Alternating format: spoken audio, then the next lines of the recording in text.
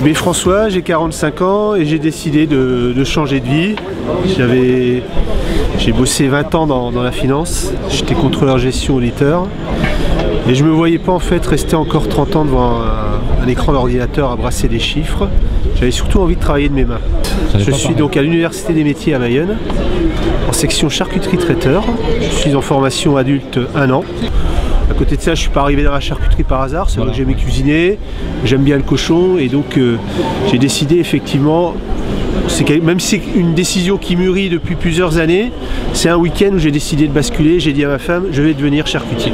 Voilà.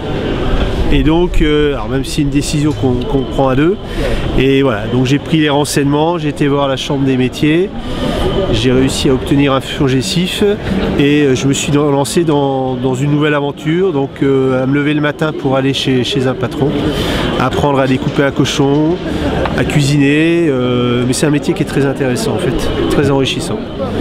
moi je me sens bien dans, cette nouvelle vie, je regrette peut-être de ne pas l'avoir fait plus tôt, mais bon, il ne faut pas avoir de regrets la vie.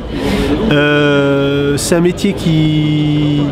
Il faut être passionné. Hein. Euh, c'est vrai qu'on se rend compte tous les jours, on parle de, cuisine, on parle du cochon. Euh, c'est un métier très technique. C'est un métier déjà de découpe. Donc ça, il faut énormément pratiquer. Et la cuisine, bah, c'est un ensemble de techniques qu'il faut apprendre à maîtriser. Alors, je suis conscient que même en ayant mon, CAP dans, deux mois, j'aurai encore beaucoup de choses à apprendre. Euh, la suite, c'est quoi? À la suite, euh, dans l'absolu, j'aimerais reprendre une, petite charcuterie, mais je crois que j'ai besoin encore besoin de me parfaire, d'acquérir plus d'expérience. Bah, c'est de trouver un, patron. Moi, c'est vrai que je préfère plutôt la partie charcuterie salaison, plutôt me spécialiser sur tout ce qui est jambon sec, saucisson. Donc, je vais orienter euh, mes recherches là-dessus et profiter de la boîte foire au jambon bah, pour rencontrer des, des professionnels. Voilà.